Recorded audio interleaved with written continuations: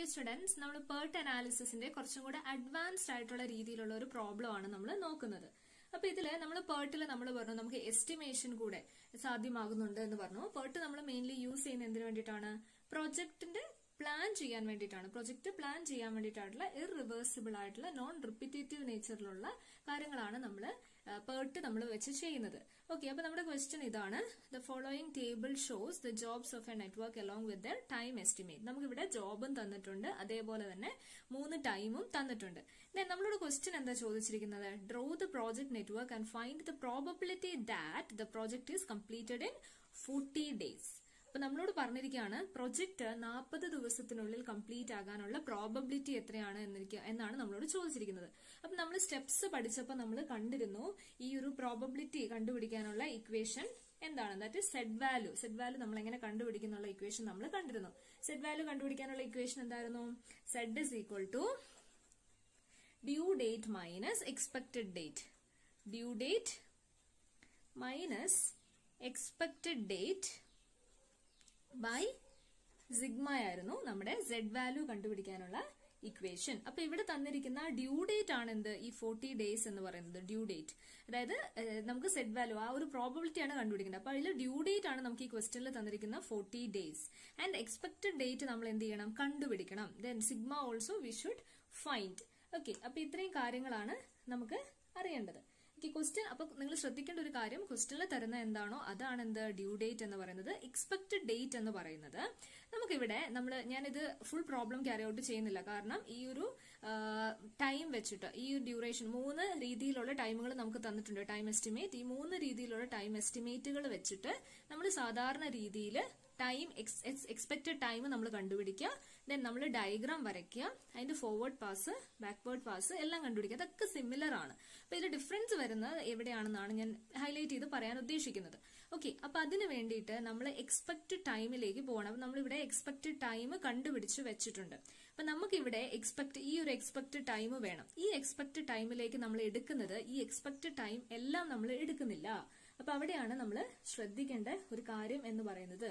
അപ്പൊ ഈ എക്സ്പെക്ട് ടൈമിലേക്ക് നമ്മൾ എടുക്കുന്നത് ഏതൊക്കെയാണ്?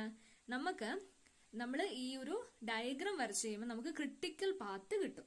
ആ ക്രിട്ടിക്കൽ പാത്തിൽ വരുന്ന എക്സ്പെക്ട് ടൈമുകളും സ്റ്റാൻഡേർഡ് ഡീവിയേഷൻ അതായത് വേരിയൻസ് ആണ് നമ്മൾ എടുക്കുന്നുള്ളൂ. അപ്പൊ നമ്മുടെ ഒരു പ്രോബ്ലത്തിൽ എക്സ്പെക്റ്റഡ് ടൈമിൽ വന്നിരിക്കുന്നത് സോറി ക്രിറ്റിക്കൽ പാത്തിൽ വന്നിരിക്കുന്നത് one two two three three five and five eight ഈ നാലെണ്ണമാണ് ക്രിട്ടിക്കൽ പാത്തിൽ വന്നിരിക്കുന്നത്. സോ നമ്മുടെ എക്സ്പെക്റ്റഡ് ടൈമിൽ വരേണ്ടത് ഏതൊക്കെയാണ്?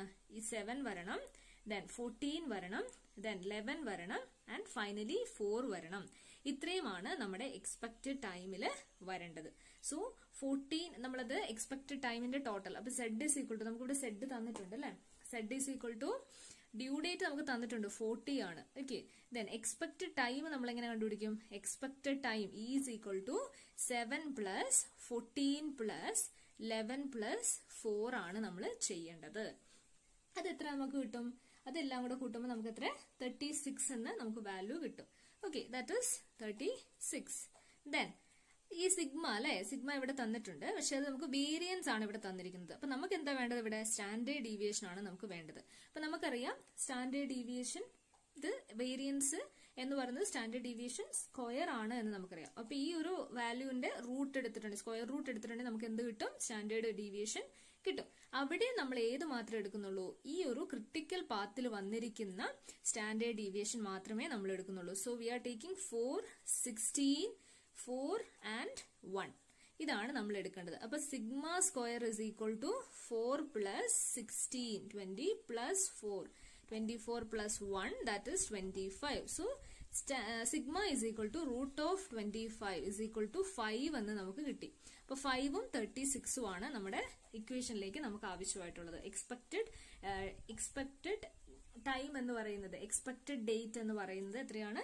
എക്സ്പെക്ടഡ് ഡേറ്റ് എന്ന് പറയുന്നത് thirty six that is seven plus fourteen twenty one plus eleven that is thirty two plus four thirty six thirty six and five okay അപ്പൊ ഇത് നമ്മൾ പ്രോബ്ലത്തിലേക്ക് നമ്മൾ ചെയ്യുകയാണ് നമുക്ക് Z is equal to forty minus thirty six by five എന്ന് നമുക്ക് കിട്ടും.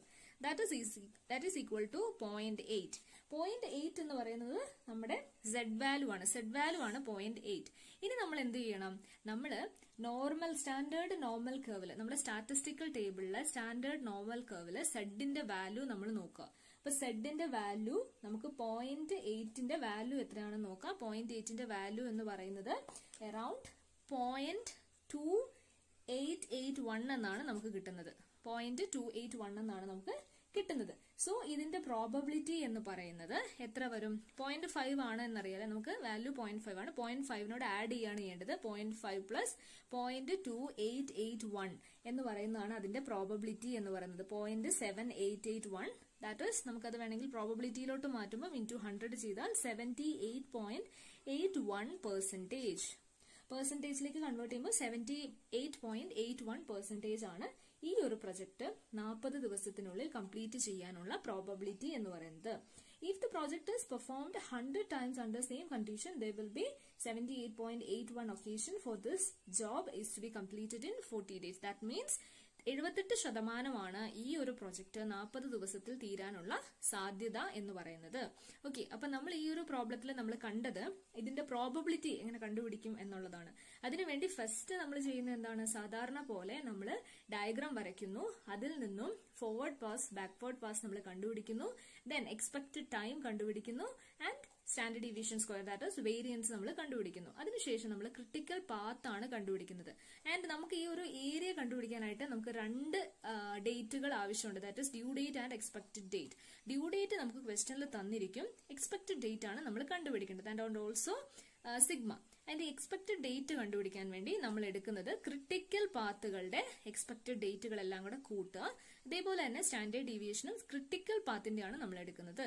Then we are finding set value and we are comparing the set value with the statistical table and standard normal കർവിൽ നിന്നും നമ്മൾ അതിന്റെ ഏരിയ കണ്ടുപിടിക്കുകയാണ് ചെയ്യുന്നത്. After finding this area we are adding point five to that area and we will get an answer and to make it in percentage we can multiply by by 100 then it will be in percentage form that is 78 percentage of chance of getting this work done within 40 days എന്നാണ് അതിന്റെ meaning